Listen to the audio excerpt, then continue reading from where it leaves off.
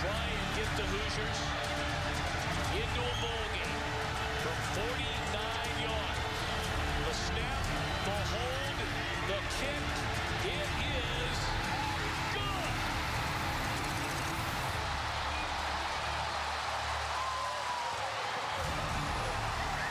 Who could forget that kick that sent Indiana to the postseason to play 13 to in 2007 and today that team honored for the 10-year anniversary of that Insight Bowl appearance and of course to honor Terry Hoeppner, the coach who envisioned it would happen and make it a reality.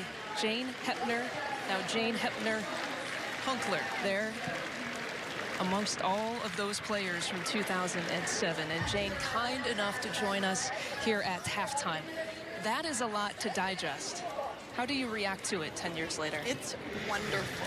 It is, it, it brings it back. It's, um, it encourages me and I think the connection that he had with them is amazing and uh, it makes me feel good when I'm with them that, um, that it seems to have the same reaction on them all this time later.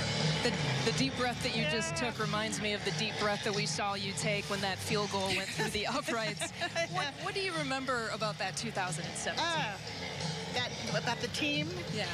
The, you know, Terry didn't like the word chemistry. He thought he, but but it, but that there was something about that team that they had everybody's back, and it, it was a result of a lot of it was a result of um, the influence that he had on them, the, his character, and all of that, and it just it, it showed in that game when it came down to what had to be. They were able to they were able to pull it off, and Austin is amazing.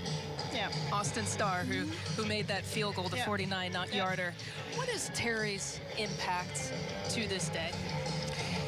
I think I think he is an inspiration. And the interesting thing is he inspired people that knew him, but what I have found in these 10 years that he inspires people that never knew him but that decided to join the bandwagon for IU football or had maybe went through a battle with what he went through with cancer, that sort of thing. And, and he was he was a rock star to a lot of people what just did, because of who he was. Absolutely. What did he mm-hmm. love about Indiana? Oh, everything, everything. He he. I, I, made the comment to a player today. The the facilities and how gorgeous everything looks would not have been a surprise to him. In his mind, it's what it it needed to be and should be because it was IU. So. Yeah. Well, Jane, thank you for coming up here, sharing time and, and thoughts with us. You're a special woman. You were married to a very special man. Yes. yes and of course, here at this stadium, there's a very special place in his honor. Heps Rock. We will return to Bloomington after this.